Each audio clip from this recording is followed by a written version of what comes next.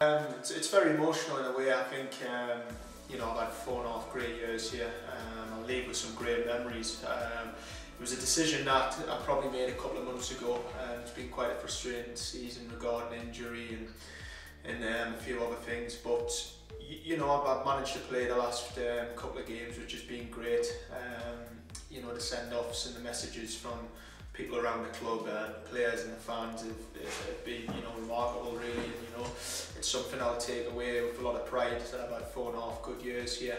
Um, but you know, I will. I think the closer it's getting, it's probably getting a bit more emotional than I thought. Um, you know, I'm going to miss the place, going to going to miss the people here. It's a great club to be at. Um, but you know, I'm looking forward to, to seeing what lies in the future as well.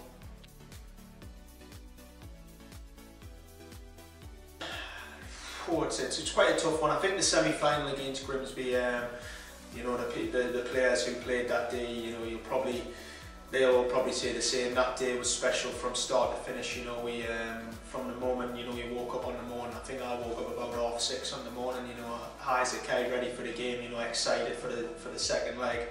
Um, there was a great crowd in here. You know, um, we got the job done. Um, we had a night out afterwards, and it was one of them which you know you remember. Um, as, as one of the great times and um, you know it's a shame we didn't get the job done at Wembley but um, that day personally and collectively for the the players, the club. It was um, it was a real special day and one which you know I, I hold um, in high regards in my career.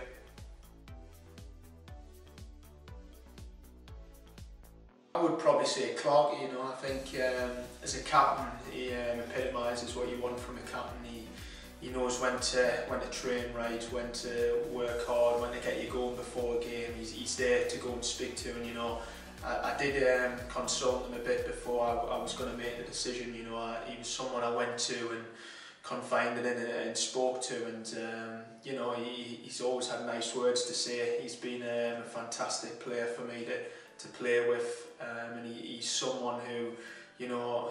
I can see him getting into management and, and going along them lines. I think he's got all the characteristics and um, you know, like I say again, as a captain, you know, he's someone we all look up to. I've looked up to, and uh, he's someone who'll be a, a friend for life for me as well, which is which is great.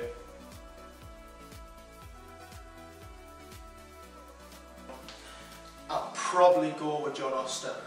I'll I'll give it to Oster uh, another mention. I think Marcus Maddison.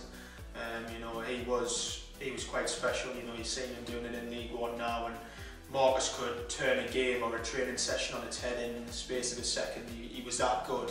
Um, you know, and I think if we had kept in the year um, last year after Wembley, I think we would have done more.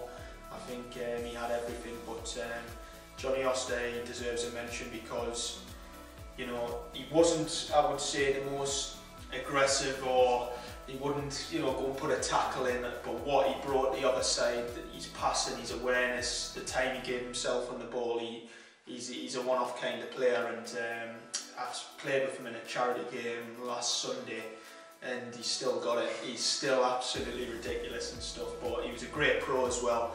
Um, you know, he, he looked after himself and he, he could probably still play now. And I, I'll just have to give it to Johnny um, ahead of Marcus, I would say.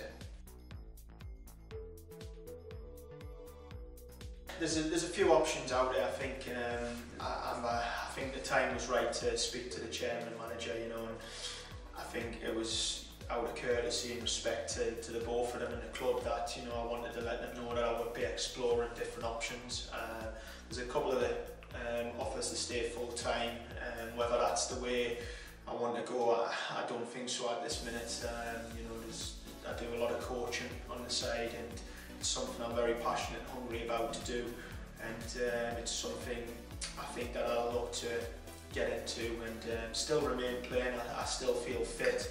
I've got over the injury early in the season and I feel you know I'm still ambitious and got so much to offer in, um, in, the part, in part time you know and some ambitious clubs up this area and uh, if I can go there and be part of something you know get them to where Gates have got to you know I, I'd love to do something like that so um, you know, the plans is to, to be um, involved in football. Um, it's all I know and it's, it's, it's all I love doing. So that's the plan for myself. I'm to cry. yeah. no, um, and, you know, I, I can't thank them enough. I think since day one, since I come in, you know, um, they've been fantastic with us. I was fortunate enough to score my debut, and I think that helped us settle in massively. But um, I'm going to miss them all. I think um, the relationship I've had with them has, been special, and I, I've been fortunate enough to, you know, have, have got that close with people around the club. You know, not just the fans, the staff members. You know, I, I, I will. I'll miss them all, and um, the support they've given me during my time here and, and since I've announced that I'm leaving and stuff, you know, I, like I said before, it's, it's quite remarkable and stuff and I'm proud of what I've achieved here and, and the relationship I've built up with them and um, I'd love to, you know, the club to get to where the chairman's wanting to take it and um, I'd love to come back one day as a supporter and see them playing in the in the football league, you know, and um, again, I, I can't thank them enough, you know, they've been absolutely great with us and um, I appreciate it, you know, for the rest of my career and the rest of my life, how great they've been with us.